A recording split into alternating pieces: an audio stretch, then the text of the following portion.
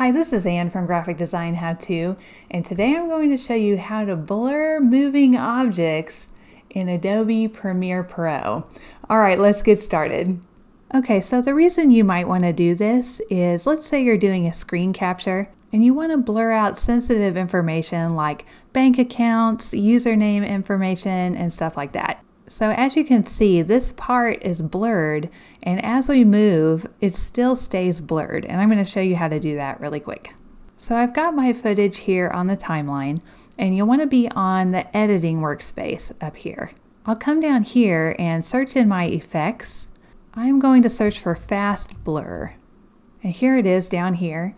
I'm just going to click this and drag it onto my clip. And when I do that, it's going to add it here in my effect controls.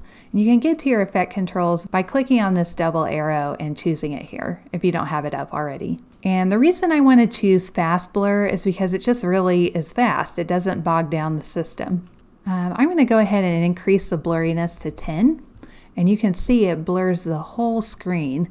So we need to add a mask to kind of isolate where we want this blur. And to do that, we can choose any of these three tools. Mine is going to be a rectangle, so I'll click that one. And now we kind of get a starter rectangle.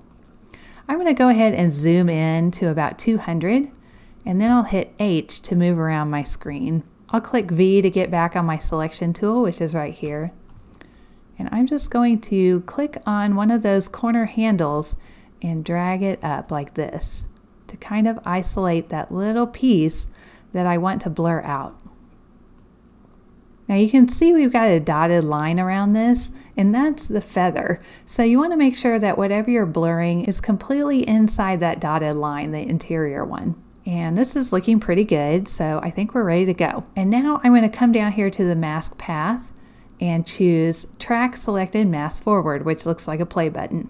So we'll just click this and it might take a little bit of time, but basically what it's doing is moving across that whole clip and then moving the blur to match wherever that piece of information moves to. I'm going to go ahead and do fit here and I'll get back on my timeline and kind of scrub through. We can see that it's moving as that part of the clip moves in the timeline. And that's it. That's all you have to do to blur a moving object in Premiere Pro. Alright, if you like this video and you want to see more videos like this, just hit the subscribe button and the little bell next to it and you'll be notified every time a new video comes out. Alright, I'll see you in the next video. Thank you!